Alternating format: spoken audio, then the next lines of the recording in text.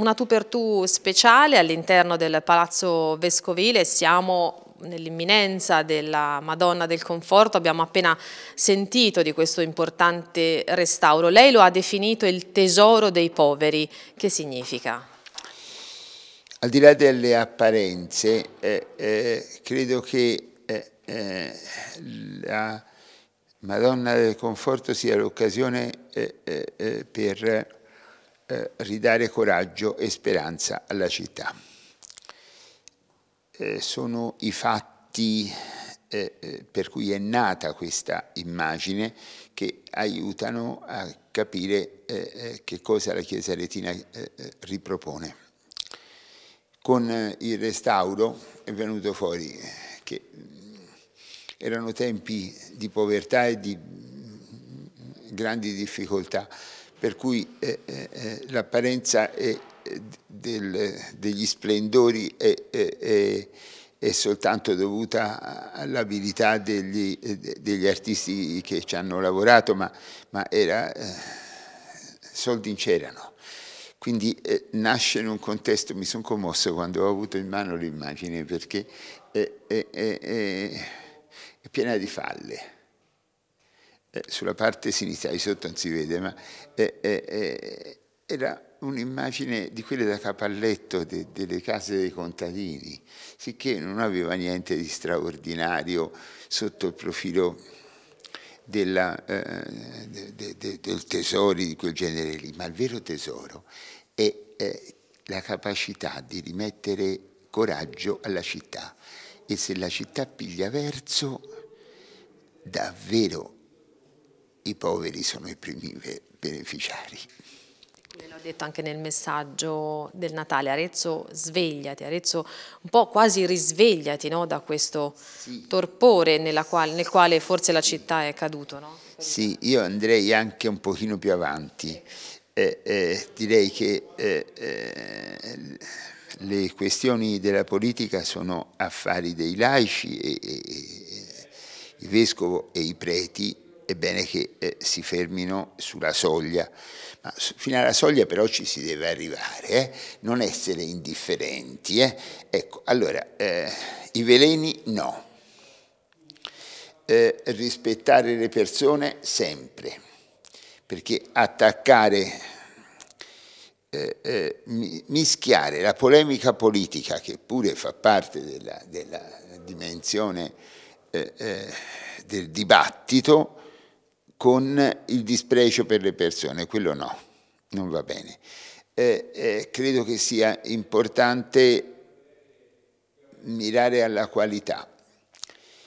Eh, Arezzo deve ritrovare la sua forza nella gente onesta, nelle persone che eh, sono di parola, che non imbrogliano, nella eh, attenzione a non eh, arraffar soldi come primo principio eh, della vita. Eh, eh facendo i lavori in domo è capitato di ritrovare, di ritrovare un povero cadavere di 300 anni fa con una piccola scritta che diceva sto qui aspettando la resurrezione presso l'altare della Madonna. Credo che sia eh, importante non perdere coraggio, che poi dopo, prima o poi si ritorna, eh, eh, le cose cambiano, eh, non è che sono eterne quelle della politica. E bisogna stare attenti un momentino a riprendere il verso e a riprenderlo bene. Non si può calpestare i diritti della gente. Sì, eh, vorrei dire che le persone sono tutte uguali, indipendentemente dal colore della pelle, dal lavoro che fanno e anche dalla, dal potere che hanno. Le persone vanno rispettate. Poi bisogna fare un'opera educativa per aiutare tutti quanti al rispetto e alla qualità. Lei ritiene che questa città possa non aver rispettato questi canoni che lei? No, io eh, eh, amo eh, ricordare il capitolo 30 della vita seconda del Celano, vita di San Francesco, quando Francesco arriva, insieme a frate Silvestro, arriva in città. Eh, cencioso com'era, scalzo, con una fune in vita, eh, gli aretini dicono, loro lì dentro le mura no, eh, fuori, fuori. Allora Francesco eh, eh, eh, viene ospitato in una stanzuccia al Pionta e come voi sapete tutti quanti, eh, se uno sta al Pionta, al calar del sole si illuminano le mura nostre eh, di quel colore impagabile che è quello del tramonto, eh, con i colori caldi, no? E Francesco vede sopra le mura voi siete, siete, toscani tutti, sì? sì, sì. È un diavolerio, cioè un gran giro di diavoli che se la de- ridevano tutti contenti perché erano riusciti a far leticare tutti gli aretini. Allora, frate Francesco eh, dice a frate Silvestro che era pieno di paura, vai a Porta San Lorentino, quella volta si chiamava Porta Fiorentina, e comanda a diavoli in nome di Dio e anche del suo servo Francesco di andarsene. Eh, in nome di Dio fece paura a diavoli, la, eh, la eh, proposta di Francesco e dei suoi frati di venire in città eh, eh, fece un grande spavento, se ne andarono diavoli. Ma che successe? Gli aretini si accorsero che se leticando si può campare, se si fanno alleanze tra tutti, è una festa e fu una festa più grande di quella dei diavoli. Questo dice il Cenano parlando della nostra città. La cosa è illustrata nella, eh, nel quarto comparto di destra della Basilica Superiore, quella eh, di Assisi, la cacciata dei diavoli d'Arezzo. Bene, David, ti sì. passo il microfono. Allora, io le vorrei un ricordo. Da bambino dentro Porta, dentro Porta San Clemente veniva fatto un enorme falò che quando ero bambino io non aveva più quella funzione ma che un tempo eh, era, aveva la funzione perché poi la Madonna del Conforto veniva nel periodo più freddo dell'anno e questo enorme falò che veniva fatto con le legne che donavano tutte le parrocchie e tutti i tenimenti della chiesa eh, il giorno prima della Madonna del Conforto le, il falò nello spengersi produceva la brace che tutti i poveri venivano a raccogliere per scaldarsi e quindi quelle notti, una due notti, li ho scaldini, una, una o due notti anche i poveri aretini dormivano più caldi.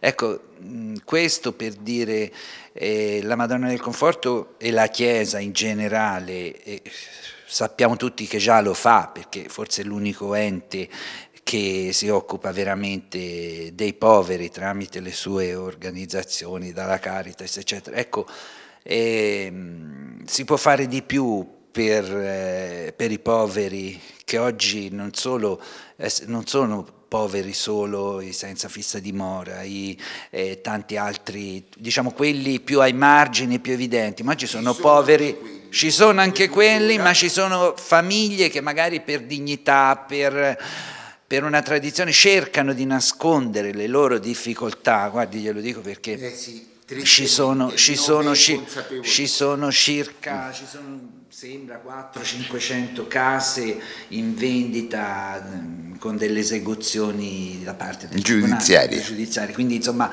le, le garantisco che chi si trova in certe situazioni, magari ancora l'abita, la occupa la casa, ma vive veramente male. Ecco, allora, ritornando al discorso, mh, mm, tutti insieme si può fare di più per, quest, per, questi, per, i, per i più poveri e questa città oggi soffre molto, ma la politica può fare di più.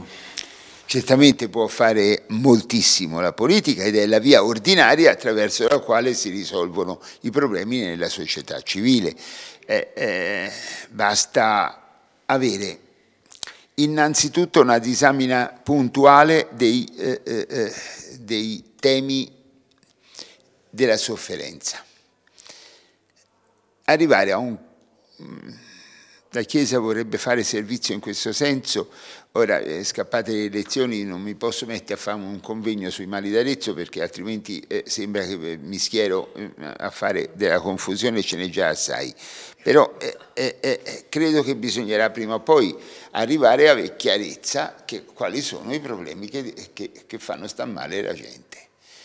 Eh, ma non parlo soltanto dei casi estremi, che quelli ci sono certamente, se Dio vuole la Chiesa se ne fa carico, ma eh, eh cioè parlo di quelli che non hanno fissa dimora, eh, detto così è già elegante, di quelli che sono eh, proprio senza un letto, senza una, eh, una doccia, ecco, questo va bene, ci sono alcuni punti della diocesi dove questo fa, lo facciamo. È interessante che i punti della campagna sono meno sofferenti che quelli della città. Comunque, insomma, va bene, ci sono, eh, ci sono dei problemi di questo genere, ma ci sono eh, i mali, lei prima le accennava, ci sono dei mali eh, eh che vanno sulla eh, qualità della vita della gente eh, non mi ha detto che tutti diventino eh, capaci di fare chissà quali meraviglie, che sono grandi professionisti pieni di soldi. No, c'è tanta gente, la maggioranza del mio popolo è di gente per bene, ma che tira, tira avanti. No, no, ma le dico che anche da professionisti, oggi anche i professionisti cominciano a tirare avanti. Eh? Questo io dico... Sì, ma c'è tanta gente.